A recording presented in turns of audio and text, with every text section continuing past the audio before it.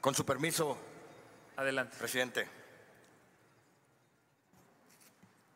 Uno de los pilares fundamentales de la democracia es la pluralidad, lograda solo a través de la participación de las distintas fuerzas políticas que hoy existen en el país.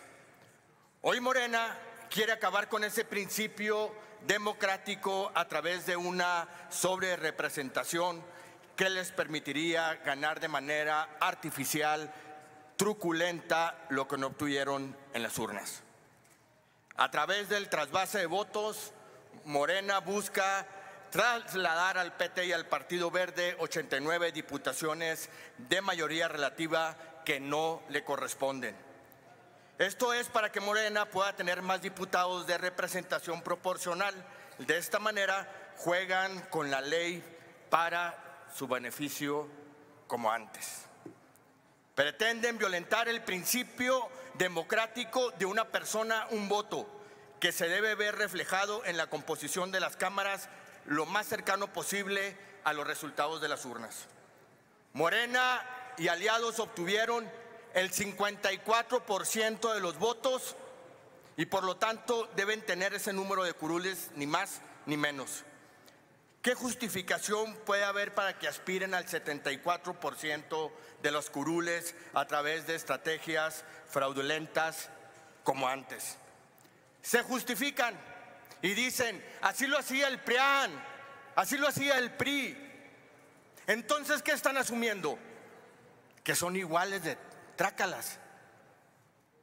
Es importante recordar que la ley original que establecía un tope en la sobrerepresentación no se hizo para construir mayorías artificiales, ni para beneficiar a quienes están y abusan del poder. Lo esencial de esa ley se hizo para que esté en contra y minimice el partido en el poder.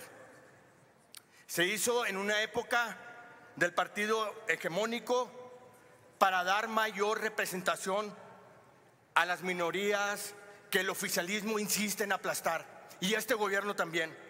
Esa reforma se hizo para lograr una democracia más sólida, donde se escucharan todas las voces de este país, porque todas las voces valen.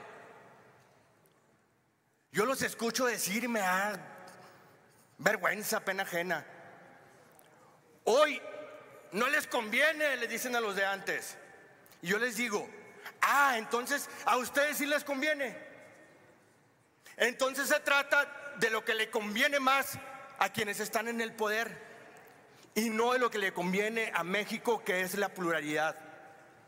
Compañeras del gobierno, seguidores de Andrés Manuel, nuestro presidente, les quiero recordar que de esta misma ley López Obrador se agarró para que el PRD quedara representado en Quintana Roo. Ahora, quienes alguna vez defendieron la pluralidad pretenden atacarla.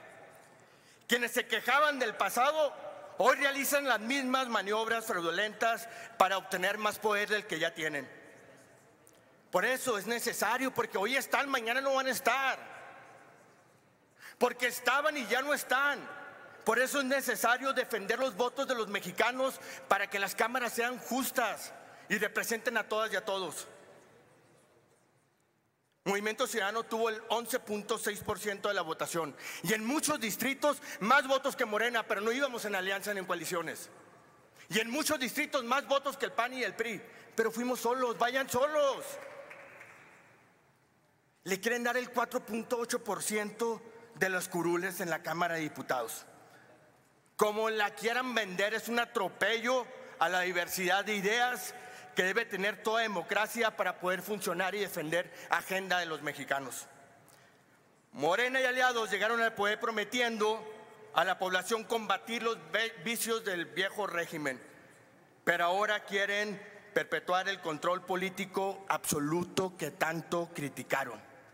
Se convirtieron en la mafia del poder que decían combatir. Por eso, desde Movimiento Ciudadano insistimos en defender una repartición justa y proporcional de las curules en el Congreso. No debemos permitir que emerjan mayorías sin fundamento que no convienen al país, que no respetan los votos de quienes no los eligieron a ellos, sino quisieron votar por una opción distinta.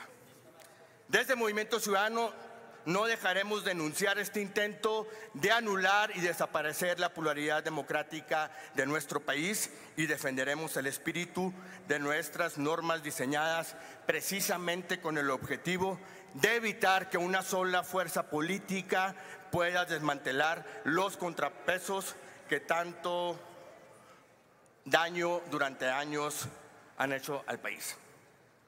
Morena, los escucho se parecen tanto al PRI que no pueden engañarme. Es cuanto.